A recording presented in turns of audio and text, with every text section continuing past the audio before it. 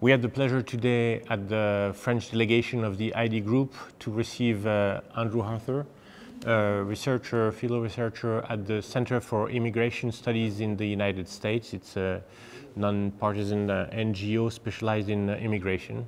As we all know, immigration is a huge issue in, uh, in Europe. We have seen recently how Poland is under attack uh, from uh, Belarus through migrants. And the idea was to talk about the United States. We have seen images of the United States being uh, overwhelmed by migrants very recently, and we wanted to hear from the various policies from uh, President Trump to President Biden.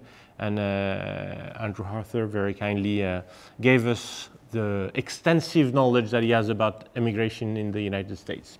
Yes, this was a very timely uh, discussion because the United States is uh, seeing the highest levels of illegal immigration at the southwest border it's ever seen in its history. Uh, more than uh, 1.659 million aliens entered the United States illegally in the fiscal year 2021, which ended on September the 30th. So uh, this is a huge immigration crisis in the United States that has uh, policy implications not only for the United States, but also for the European Union. Uh, and I greatly appreciate the opportunity to discuss these issues uh, and to share freely because uh, ours is a long-standing relationship. and It's a two-way street, uh, and we can learn from each of our entities.